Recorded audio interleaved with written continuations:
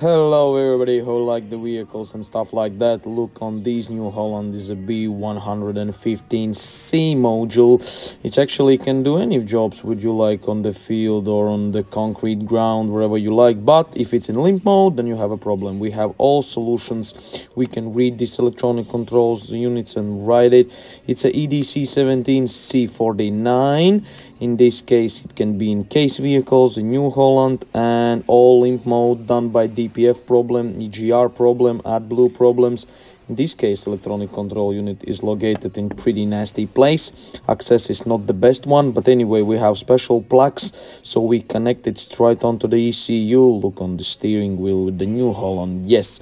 After reprogram we gone on the full power, full potential DPF, EGR, AdBlue, any of these systems can be fully remapped and the vehicle will not gonna get any limp mode anymore.